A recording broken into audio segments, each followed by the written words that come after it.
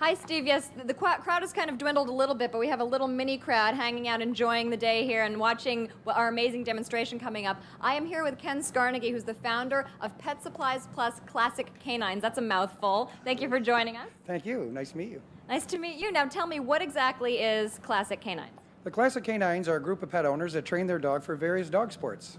And why was it established to begin with? Well, we established it to give people that do train their dogs with obedience and dog sports an opportunity to play with their dogs.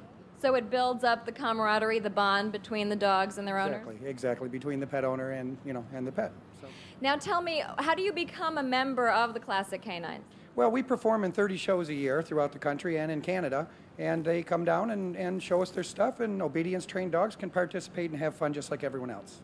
All right, let's get this demonstration started for you, Steve. Go ahead. Let's see what you're. What are they doing exactly? This event is called high jumping. They are going to be into two lead-in jumps to a rack of bars at the end.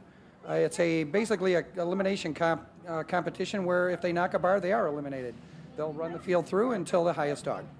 Now I understand um, if they knock over a pole, you have to put ev every pole back up, correct? Certainly, we add the bars and replace them as they're knocked. But if the whole rack becomes destroyed, then we have to rebuild the rack and continue. Now, I understand that you told me that dogs do not have depth perception, so you cannot put just a single pole up high. It won't jump over that, right? No, certainly not. In fact, you'll notice that the stripes on the poles are, are diagonally set so that it builds a brick wall illusion. A, a single pole, the dog would go under. Now, there's one of the dogs here um, named Rascal who's just who just jumped over right there. He's a service dog, right? Right. Rascal is a service dog. Helps his handicapped owner Carol with such things as answering phones, picking up keys, opening doors, and things like that. So this is a type of dog Olympics in a way? Sure, in a way. We've been referred to as the Olympics. We have 17 different events, Grand Prix racing, flyball, fun games like musical mats, and of course high jumping. Okay, great. Thank you very much, Ken. I want to come and talk to some of these dog owners and their dogs.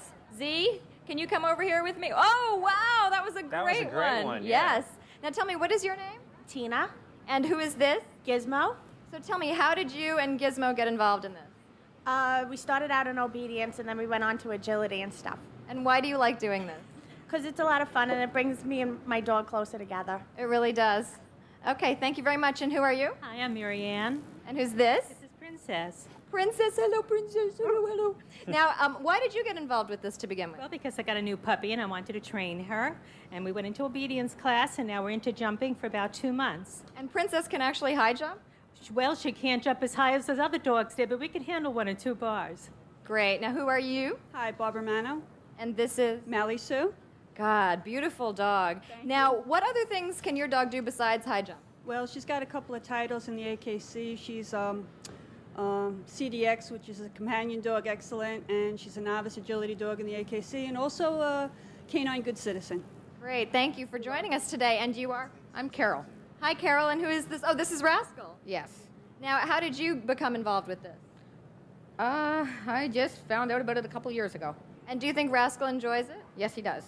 Yeah, you guys have fun together? And one more, just very quickly, I want to talk to this person you are. Judy Sullivan. And you're responsible for all these dogs being here today? Some of them, yes. I have an obedience class in Freeport. And who are these dogs? This is Doogie Bowser, this is Donzie, and that's Jessie. Well, thank you very much. I love the name Doogie Bowser. I have to say that's the that's the best name I've ever heard. anyway, thank you very much for joining us. Thank you to Ken Scarnegie, and bye from Madison Square Park. Can we see one more big old high jump before we go? Just sure. Let's see off? one more big high jump. Who can do a big high jump Rascal one more or time? somebody Rascal. can. Let's do it. Over.